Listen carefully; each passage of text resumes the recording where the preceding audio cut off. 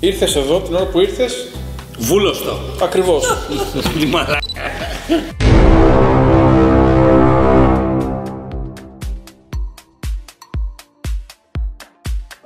Επειδή το Grease Next Top Model είναι στη μόδα και το βλέπουν όλοι, άρα θα μιλήσουμε για τα μοντέλα σήμερα. You wanna be on top; και τα plus size. Και τα plus size. Εμείς δεν τα απορρίπτουμε. Εγώ δεν κάνω παρέα με Εγώ plus είμαι size. plus size μοντέλο. Τρία. Ω, χάλασε. Χάλασε. Τι θα πω, Όχι ρε φίλε. Φέρα να τη φτιάξω εγώ που ξέρω. Τεχνητή αναπνοή. Λοιπόν, τώρα θα ξεκινήσουμε, αλλά εσύ θα φτιάξεις ένα πρωτόπουλο; Ναι. Σκέψη. Και... Σήμερα θα μιλήσουμε για τα μοντέλα.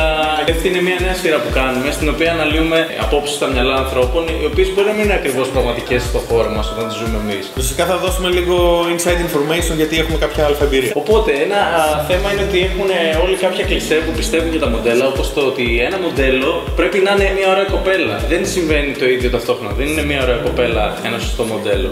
Όμορφη δεν σημαίνει μοντέλο. Καλά τα λες, δεν πες. Εξαρτάται και το τι θα διαφημίσει, σε τι, θα, σε τι απευθύνεται; Ναι. Σε φωτογράφηση μαγιό, γούνας, παπούτσια, κοσμήματα. ε, Ξέρουμε μοντέλα χεριού, μοντέλα, έχω δει μοντέλα λαιμού.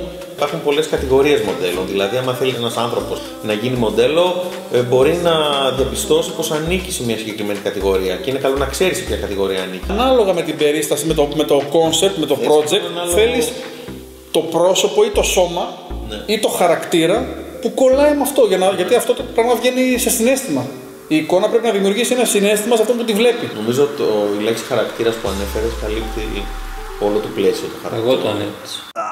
Το ότι μια κοπέλα είναι όμορφη δεν σημαίνει πως μπορεί να γίνει μοντέλο. Το ότι μια κοπέλα θεωρεί τον εαυτό της ή τη θεωρούν οι άλλοι άσχημοι, πάλι δεν σημαίνει πως, πως δεν μπορεί να γίνει μοντέλο. Υπάρχουν πάρα πολλές κατηγορίες μοντέλου. Θα πούμε high fashion, θα πούμε editorial, θα πούμε μοντέλα για commercial, θα πούμε μοντέλα που είναι για body parts, όπως είναι μοντέλα κεφάλι, μοντέλα για μαλλιά, μοντέλα για χέρι, hand models, fit models, Plus οτιδήποτε. size. Μπράβο, fitness models, ε, υπάρχουν τα sensual models που είναι για boudoir photography και για πιο ερωτικές φωτογραφίσεις. Η κάθε κατηγορία μοντέλου ζητάει συγκεκριμένα χαρακτηριστικά. Πριν αποφασίσεις το αν μπορείς να γίνεις μοντέλο ή όχι, μπορείς να επικοινωνήσεις σίγουρα μαζί μας για να μάθεις σε ποιες κατηγορίες μπορείς εσύ να ταιριάξεις. Ένα άλλο μεγάλο θέμα είναι τα τατουάζ και οι πλαστικές που έχετε κάνει μερικές. Σας ξέρω, θα σας βρω. Να λύσουμε το μύθο. Υπάρχει φωτογένεια ή δεν υπάρχει; Δεν υπάρχει. Αυτό πρέπει όντως να απαντηθεί. Δεν υπάρχει. Για μένα, για μένα υπάρχει. Για, Και μένα, για μένα. για μένα δεν υπάρχει. Υπάρχει, αλλά δεν, Υπάρχει δεν το ονομάζω ποτέ φωτογένεια Ωραία. γιατί είναι παρεξηγημένο και σημαίνει στα μυαλά των ανθρώπων κάτι το οποίο δεν είναι αυτό που έχουμε στο μυαλό μας νομίζω οι φωτογράφοι. Τώρα, προσωπικά προσδιορίζω ως φωτογένεια την ευκολία του να βγάλεις ένα πρόσωπο με ένα αισθητικά όμορφο αποτέλεσμα. Εντάξει, περίπου το ίδιο. Γι' αυτό υπάρχει, γι' αυτό για μένα πιστεύω. Συνήθως αυτό το πρόσωπο ξέρει να ποζάρει τα ωραία του. Άρα ξέρει να ποζάρει, δεν είναι θέμα φωτογένειας. Κάπως έτσι. Ξέρει να ποζάρει, δηλαδή ξέρει να, να επιδεικνύει τα ωραία στοιχεία της και να κρύβει τα, αυτά που δεν την είναι. Άρα, άρα, είναι, ά- άρα είναι η ικανότητα του φωτογράφου να ε, βρει τη σωστή γωνία λήψης για το πρόσωπο π.χ. Είναι μια αναλογία φωτογράφου του μοντέλου. Και, και, και, μην, και περίμενε, μην, μην μπερδεύουμε τη φωτογένεια με, τις, με το posing, με το αν ο άλλος ξέρει να ποζάρει. Που αυτό έχει να κάνει και με το σωματότυπο που μπορεί να έχει και μετά με το πόσο έχει προπονήσει πόζες. Εγώ Πορτρέτο. φωτογένεια Αυτό, βάζω αυτό μόνο το το πρόσωπο για να Αυτό, μην τα ωραία, επεκτείνουμε ωραία, τα ναι, πράγματα. ωραία, πορτρέτο. Γιατί υπάρχουν άτομα, υπάρχουν, υπάρχουν, υπάρχουν, προ- υπάρχουν μοντέλα που έχουν πολύ ωραίες πόζες, αλλά δεν έχουν φωτογένεια στο πρόσωπο. Γι' αυτό λέω μην τα μπλέκουμε. Είναι για μένα δύο διαφορετικά πράγματα. Εγώ όταν ανέφερα Μπορεί τη να- φωτογένεια, το αν υπάρχει ή Να σου πω όχι, που νομίζω μιλούσα ότι για το έχεις λάθος. πρόσωπο. Να σου πω που νομίζω. Πάρ' το όλο, όλο τον ήχο. Για να έχει μια ολοκληρωμένη απάντηση. Για πες. Δεν μπορώ να το κουμπώσω. Ε, στην ουσία, εγώ νομίζω ότι ε, το μοντέλο το οποίο γράφει ωραία είναι αυτό το. Παλαγή θέματος, πάνω στο επόμενο που λέτε. Δεν είναι αυτό που νομίζετε, αλλά υπάρχει η φωτογένεια. Δεν υπάρχει βαριές. Ναι, γιατί το ότι υπάρχει θα πούνε Α, τελικά εγώ έχω, εγώ δεν έχω. Άσε να σου κλείτσαμε τώρα. Α, θα απευθυνθώ στου φωτογράφου. Όταν θα, θα έχετε ένα μοντέλο μπροστά σας που θα, με, το, με το οποίο θα βγάλετε 100 λήψεις και δεν θα ξέρετε πρέπει να- ποια να πρωτοδιαλέξετε, τότε θα καταλάβετε τη διαφορά ανάμεσα στο μοντέλο που έχει φωτογένεια και στο μοντέλο που δεν έχει. Γιατί στο μοντέλο που δεν έχει φωτογένεια, από τις 100 θα ψάχνετε τις 5.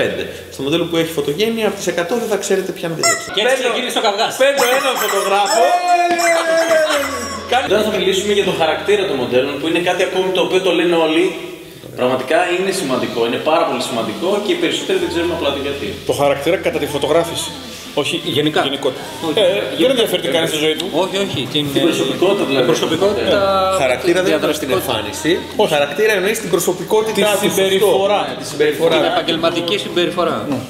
Πιο σημαντικό σε ένα μοντέλο είναι να έχεις σωστό χαρακτήρα. Επαγγελματικό ήθος, να συμπεριφέρεται σωστά, να είναι ευδιάθετη, να ακούει, ε, να μπορεί να συνεισφέρει, να μην μιλάει πάρα πολύ. Να γιατί προτείνει. Το να μην μιλάει πάρα πολύ απλά ήταν λίγο περίεργο που είπα. Όχι. Ε, Όταν λέμε να ακούει, να, να μην κρίνει. Ήρθες εδώ την ώρα που ήρθες. Βούλωστο. Ακριβώς. Τη μαλάκα. θα κάνεις αυτό που πρέπει να κάνεις, αυτό που θα σου πούμε να κάνεις, να πάρουμε το αποτέλεσμα που θέλουμε και γεια σου. Το πιο σημαντικό σε ένα μοντέλο είναι να ακούει. Και επίσης τα άτομα που είναι πίσω από την κάμερα ξέρουν τι θέλουν και τι βλέπουν. Οπότε αυτά είναι το Α και το Ω. Ή καμιά φορά δεν ξέρουν τι θέλουν ε, τα άτομα πίσω από την κάμερα και μπορούμε να μιλήσουμε σε άλλο επεισόδιο αυτό για του. Ναι. Και επίσης όταν ε, μιλάμε σε ένα μοντέλο και λέμε την όποια βλακία μας κατέβει, προκειμένου να προκαλέσουμε το συνέστημα που θέλουμε και την κρυμάτσα που θέλουμε και την έκδοση του προσώπου, ε, δεν είμαστε βλαμμένοι και λέμε τις βλακίες.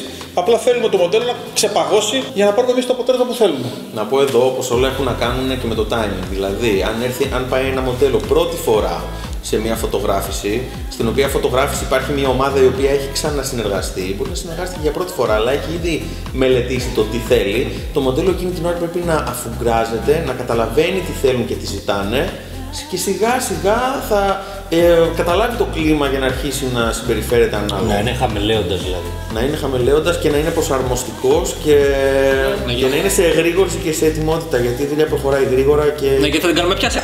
Και δεν θα είναι έτοιμη. δεν θα είναι έτοιμη. Και έπρεπε να φωνάξεις τώρα.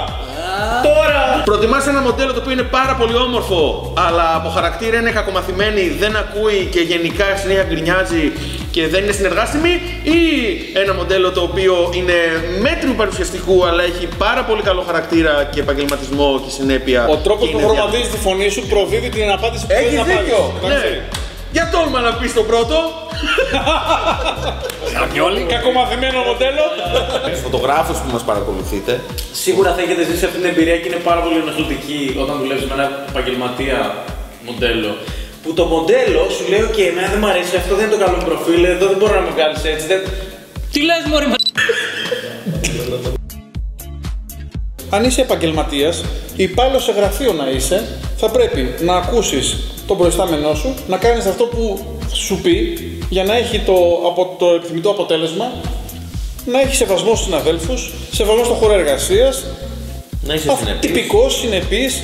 Αυτά δηλαδή τα ίδια ισχύουν παντού. Άμα είσαι νάρχισο, εγωπαθής, εγωιστής, εγώ τα ξέρω όλα κτλ. Τι σας θέλω, δεν νομίζω σε καμία εταιρεία, όχι μόνο μοντέλο, να, να κρατήσεις τη θέση σου. Γεια σου. Το ίδιο και στα μοντέλα. Ένας λόγος παραπάνω που είναι πιο άμεση και είναι δύο άγνωστοι οι οποίοι πρέπει να συνεργαστούν για μία μέρα, μετά μπορεί να μην ξαναβρεθούν ποτέ στη ζωή τους και πρέπει ο ένας να ακολουθήσει τις εντολές του άλλου και, και οι δύο να βγάλουν ένα αποτέλεσμα πολύ συγκεκριμένο. Δεν είναι ένα δεν πειράζει, θα προσαρμοστείς σε 10 μέρες, θα βγάλουμε το αποτέλεσμα τώρα. Εκεί θα ήθελα να προσθέσω πως από τη μεριά των φωτογράφων πρέπει να ξέρουν οι φωτογράφοι πως το μοντέλο του προσέχουμε είναι κατά κάποιο τρόπο φιλοξενούμενός μας εκείνη την ώρα. Να τον κάνουμε να νιώσει άνετα γιατί τα συναισθήματά του και η έκφρασή του θα, θα αποδοθούν στο φακό. Ναι, ναι, πρέπει να υπακούσεις τον φωτογράφο, αλλά έχει και υποχρεώσεις ο φωτογράφος απέναντι στο μοντέλο. Αυτό που είπε ο Ιάκωβος. Μέσα σε όλα αυτά που πρέπει να παράσχει, βασικό είναι πού αλλάζω, έχει κρύο, έχει ζέστη. Για.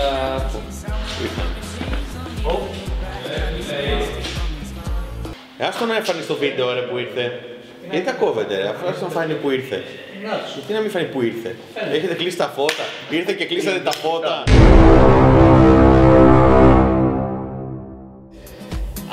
Κάποιος φωτογράφος πίσω από την κάμερα, σίγουρα θα το έχει μοιάσει. What? Θα βάλουμε πότε. Αν υπάρχει κάποιος φωτογράφος από πίσω από την οθόνη που βλέπει. Που μας παρακολουθεί πέτρε μαλάκα. Αν υπάρχει κάποιος εγώ. Αυτοί που μείνατε ήδη και μας ακολουθείτε μετά από... Με αυτό που είπες, πώς την έκανες. Ναι, δεν στην είπα τίποτα.